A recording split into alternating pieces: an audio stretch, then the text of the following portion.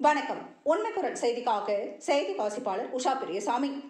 நகர்ப்புற உள்ளாட்சி தேர்தலில் திருவள்ளூர் நகராட்சியில் இருபத்தைந்தாவது வார்டு உறுப்பினர் பதவிக்கு கே. விஜயலட்சுமிக்கும் இருபத்தேழாவது வார்டு உறுப்பினர் பதவிக்கு என். சுப்பிரமணிக்கும் பாட்டாளி மக்கள் கட்சி சார்பில் காஞ்சிபுரம் மாவட்ட தேர்தல் பொறுப்பாளர் பாலா என்கிற பாலிகோகி திருவள்ளூர் மேற்கு மாவட்ட செயலாளர் இ. தினேஷ்குமார் ஆகியோர் தலைமையில் திருவள்ளூர் நகராட்சி அலுவலகத்தில் தேர்தல் நடத்தும் அலுவலர் சுதாகரிடம் வேட்புமனு தாக்கல் செய்தனர்.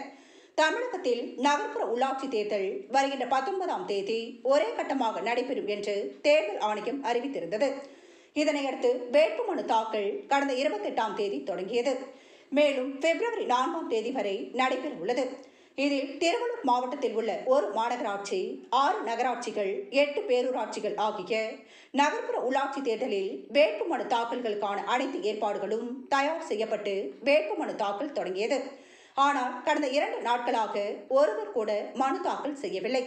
இதனிடையே மூன்றாம் நாளான இன்று திருவள்ளூர் நகராட்சியில் இருபத்தைந்தாவது வார்டு உறுப்பினர் பதவிக்கு கே. விஜயலட்சுமியும் இருபத்தேழாவது வார்டு உறுப்பினர் பதவிக்கு என். சுப்பிரமணியும் பாட்டாளி மக்கள் கட்சி சார்பில் காஞ்சிபுரம் மாவட்ட தேர்தல் பொறுப்பாளர் பாலா என்கிற பாலிகோகி திருவள்ளூர் மேற்கு மாவட்ட செயலாளர் இ. தினேஷ்குமார் ஆகியோர் தலைமையில் திருவள்ளூர் நகராட்சி அலுவலகத்தில் தேர்தல் நடத்தும் அலுவலர் சுதாகரிடம் வேட்புமனு தாக்கல் செய்தனர்.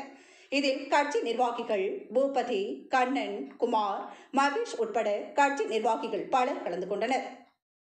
உள்ளதை உள்ளபடி உடனுக்குடன் செய்திகளை தெரிந்து கொள்ள உண்மை குரல் யூடியூப் சேனலை மறக்காமல் சப்ஸ்கிரைப் பண்ணுங்கள்.